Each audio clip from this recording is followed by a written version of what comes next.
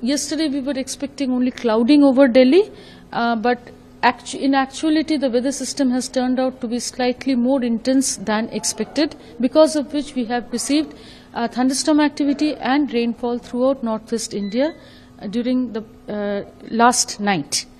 Uh, what we are seeing today is that the western disturbance uh, continues to be along 70 degrees east to the north of 28 degree north and with an induced cyclonic circulation in the lower levels.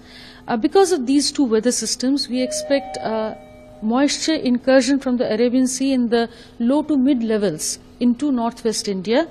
The main rainfall zone will continue to be over the western Himalayan region, where we are expecting fairly widespread rainfall uh, over the western Himalayan region. We are also expecting clouding and isolated rainfall activity over the plains, which is uh, Punjab, Haryana, West Uttar Pradesh, uh, a little bit of East Uttar Pradesh, and uh, North Rajasthan.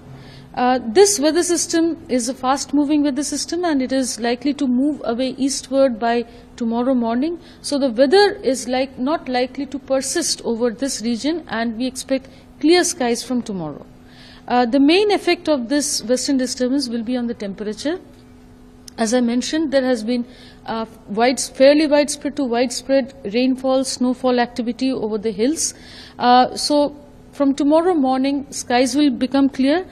Uh, simultaneously, northwesterly cold winds will start to penetrate into the plains of northwest India, because of which we expect a fall of 2 to 4 degrees uh, Celsius in the minimum temperature from tomorrow for the subsequent four to five days. Uh, maximum temperature will not fall much. In fact, uh, it may fall by one degree Celsius, which is a uh, which is a climatological thing with every passage of western disturbance. But it will rise slightly with the clear skies.